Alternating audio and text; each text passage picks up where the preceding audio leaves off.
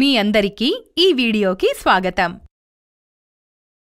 మునుపటి వీడియోలో వర్గ సమీకరణం యొక్క మూలాల స్వభావం ఆధారంగా కొన్ని ఆసక్తికరమైన ఉదాహరణలను చూశాము. ఈరోజు ఇలాంటి ప్రశ్నలను పరిష్కరించేటప్పుడు జరిగే సాధారణ తప్పులను చూద్దాం. నందిని రేఖ మరియు సుష్మాలు వార్తాపత్రికలో వచ్చిన ఈ ప్రశ్నని సాధించి సరైన సమాధానమిస్తే బహుమతి లభిస్తుందని చూస్తారు. సుష్మా రేఖ మరియు నందిని వరుసగా మొదటి రెండవ మరియు మూడవ ఎంపికలను ఎంచుకుంటారు. ఎవరి సమాధానం సరైనది మరియు ఎందుకో మీరు చెప్పగలరా? ప్రశ్నను పరిష్కరించడానికి వీడియోను ఆపి ఆపై మీ జవాబుతో సరిపోల్చుకోండి. ప్రశ్నలో ఇచ్చిన వర్గ సమీకరణం ప్రామాణిక రూపంలో లేదని మీరు చూడవచ్చు. మీరు ఈ సమీకరణాన్ని ప్రామాణిక రూపంలో రాయగలరా? ఇచ్చిన సమీకరణాన్ని ప్రామాణిక రూపంలో ఈ కింది విధంగా రాయవచ్చు.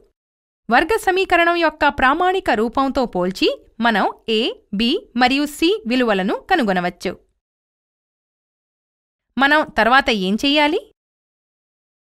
మూలాల స్వభావాన్ని తెలుసుకోవడానికి మనం వర్గ సమీకరణం యొక్క విచక్షణి అనగా డిస్క్రిమినెంట్ పై చర్చించాలి. బి ఘాతం రెండు మైనస్ నాలుగు ఏసీలో ఏ బి మరియు సి యొక్క విలువలను ప్రతిక్షేపించి పరిష్కరిస్తే మనకి సున్నా లభిస్తుంది. దీనర్థం ఏమిటో మీరు చెప్పగలరా?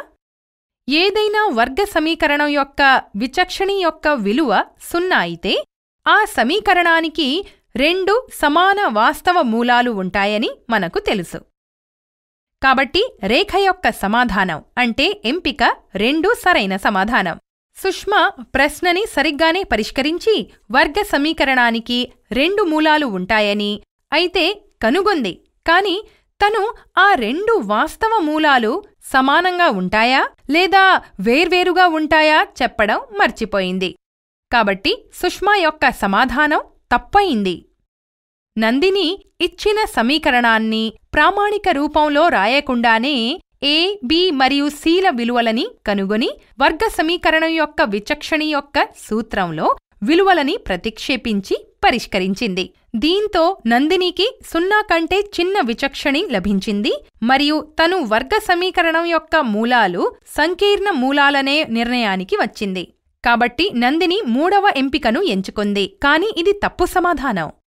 ఈ ఉదాహరణలో రెండవ ఎంపిక ఎందుకు సరైంది? మరియు మిగిలిన ఎంపికలు ఎందుకు తప్పో మీకు అర్థమైందని ఆశిస్తున్నాం. తరగతిలో ఉపాధ్యాయుడు కూడా ఇటువంటి ఉదాహరణలను ఉపయోగించి విద్యార్థుల తెలివితేటలను పరీక్షించవచ్చు.